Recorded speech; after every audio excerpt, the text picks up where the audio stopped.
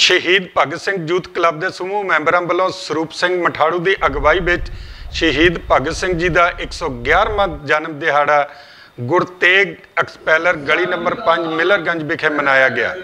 ਇਸ ਮੌਕੇ ਸਰੂਪ ਸਿੰਘ ਮਠਾੜੂ ਨੇ ਦੱਸਿਆ ਕਿ ਸ਼ਹੀਦਾਂ ਦੇ ਜਨਮ ਦਿਨ ਅਤੇ ਸ਼ਹੀਦੀ ਦਿਨ ਮਨਾਉਣ ਦਾ ਇਹ ਬੂਟਾ ਉਹਨਾਂ ਦੇ ਵੱਡੇ ਭਰਾ ਸਵਰਗਵਾਸੀ ਪ੍ਰਕਾਸ਼ ਸਿੰਘ ਮਠਾੜੂ ਵੱਲੋਂ ਲਗਾਇਆ ਗਿਆ ਸੀ।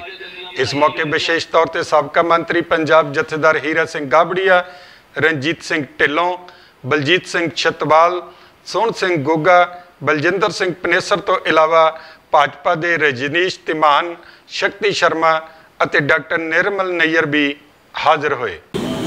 ਅੱਜ ਅਸੀਂ ਸਰਦਾਰ ਸ਼ਹੀਦ ਭਗਤ ਸਿੰਘ ਜੀ ਦੇ 111ਵੇਂ ਜਨਮ ਦਿਨ ਤੇ ਦੇਸ਼ ਵਾਸੀਆਂ ਨੂੰ ਲੱਖ ਲੱਖ ਵਧਾਈਆਂ ਦਿੰਦੇ ਆ ਤੇ ਅਸੀਂ ਆਸ ਕਰਦੇ ਆ ਵੀ ਸਾਡੇ ਜਿਹੜੀ ਨੌਜਵਾਨ ਪੀੜ੍ਹੀ ਆ ਨਸ਼ਿਆਂ ਤੋਂ ਗ੍ਰਸਤ ਜਿਹੜੀ ਹੈਗੀ ਆ ਦੇਸ਼ ਵਾਸੀਆਂ, ਇਹ ਨਸ਼ੇ ਤਿਆਗ ਕੇ, ਜਿਹੜਾ ਭ੍ਰਿਸ਼ਟਾਚਾਰ ਜਿਹੜਾ ਵੀ ਹੈਗਾ ਦੇਸ਼ ਨੂੰ ਤਿਆਗ, ਨਸ਼ੇ ਤਿਆਗ ਕੇ ਇਸ ਤਰ੍ਹਾਂ ਹੀ ਸਾਡਾ ਸਹਿਯੋਗ ਦਿੰਦੇ ਰਹਿਣਗੇ, ਤਾਂ ਜੋ ਪ੍ਰੇਰਣਾ ਮਿਲ ਸਕੇ ਇਹਨਾਂ ਬੱਚਿਆਂ ਨੂੰ, ਵੀ ਭਗਤ ਸਿੰਘ ਨੇ ਸਾਡੇ ਦੇਸ਼ ਲਈ ਕੁਰਬਾਨੀਆਂ ਕੀਤੀਆਂ, ਜਿਨ੍ਹਾਂ ਦੇ ਕਾਰਨ ਅਸੀਂ ਆਜ਼ਾਦੀ ਦਾ ਨਿੱਘ ਮਾਣ ਰਹੇ ਹਾਂ।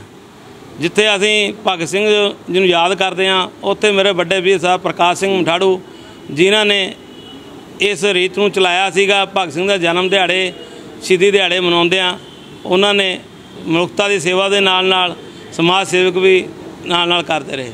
ਉਹਨਾਂ ਦੀ ਰੀਤ ਨੂੰ ਅੱਗੇ ਅੱਗੇ ਚਲਾਉਂਦੇ ਹੋਏ ਦਾਸ ਅਕਣੇ ਤੁਹਾਡੇ ਸਾਰਿਆਂ ਦੇ ਸਾਥ ਨਾਲ ਅਕਣੇ ਸੇਵਾ ਸੇਵਾ ਨਿਭਾਉਂਦਾ ਰਹੇਗਾ। ਸਮਾਜ ਸੇਵਾ ਦੇ ਜਿਹੜੇ ਉਪਰਾਲੇ ਨੇ, ਉਹ ਕਰਦੇ ਰਵਾਂਗੇ। ਬਾਈ ਖਾਲਸਾ ਵਾਹਿਗੁਰੂ। ਲੁਧਿਆਣਾ ਤੋਂ ਗੁਰਮੀਤ ਨਿੱਜਰ ਦੀ ਰਿਪੋਰਟ। ਕੈਮਰਾਮੈਨ ਹਰਜੀਤ ਦੇ ਨਾਲ fox.punjabi your city your news